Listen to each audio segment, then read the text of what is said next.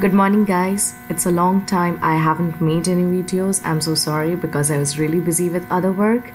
But here I'm back with a video to show how to reproject shapefiles in ArcGIS. So here I have two shapefiles. One is a map of India, which shows the shapefile of India, and one is the AOI, that is the area of interest.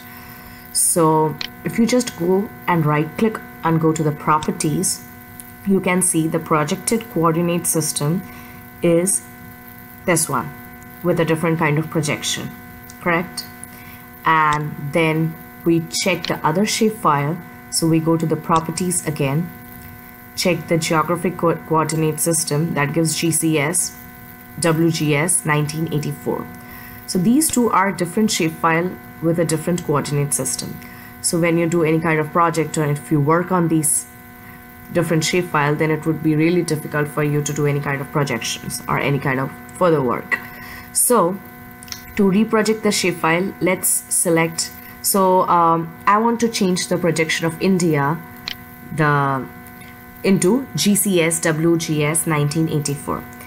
So what I would do is I would first go, go and open the ArcToolbox. Then in the ArcToolbox, I'll come to the data management tools, open that, go down below and find projection and transformation. When I open this, I find projection. Double clicking on projection, this window will open where you have to get the input data set or the feature class. For in this case, it is India. Then the input coordinate system is optional. So by default, whatever the system is in there, it would automatically show up here. Then this will give the output data or the feature class will give us where we want to save our um, work. So in my case I want to save it in um, for example let's save it India project and save. And for the output coordinate system let's go to the so I want to give the same projection coordinate as of AOI so I can easily find it in layers. Or what I can do is I can go to the geographic coordinate system come down go to world then go down and select the WGS 1984 and click on OK. I can see a small kind of error popping up. It gives that datum transformation is expected but the parameter is empty. So usually I don't think so. I never use that it works perfectly without using that. So now what we need to use is just click on OK. This project thing will pop up and we need to wait for the results. So now it shows the green text shows here that our projection reprojection is successful.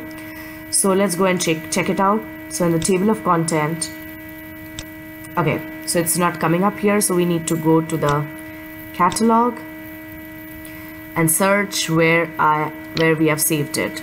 So I've saved it here with the India project shapefile I'll drag this up here and I'll go to the properties and I can see that the geographic coordinate system has changed to WGS 19 uh, yes 1984 so this is how we do it.